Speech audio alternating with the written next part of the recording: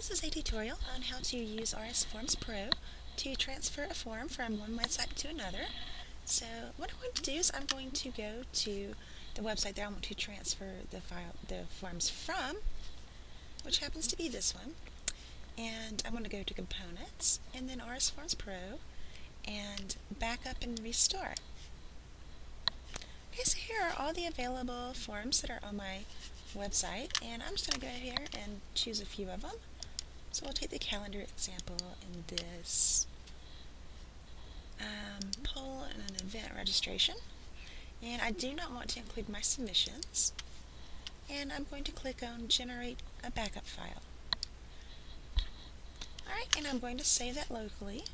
It'll save all instances into one instance, and then we can just upload those in bulk. And we could do this one by one if we wanted to, but I'm just going to go ahead and grab all of the forms that I need. And I'm going to go to my second site. And again, we're going to go to Components, and then RS Form Pro, and Backup and Restore.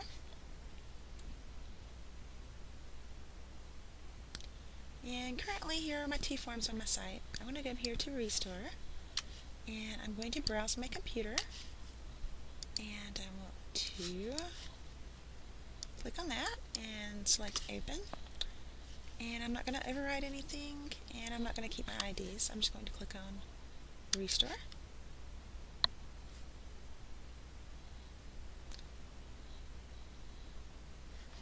And now if I go over to Manage Forms, here's all the forms that we just transferred over. Thank you.